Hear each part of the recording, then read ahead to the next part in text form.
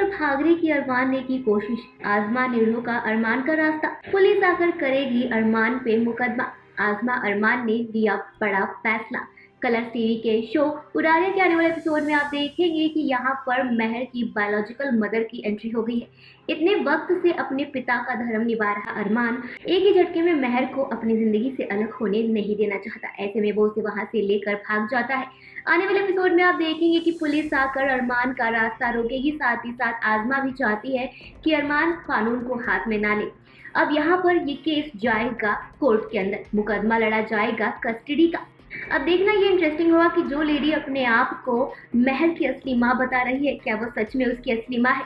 या फिर, माजरा कोई और है?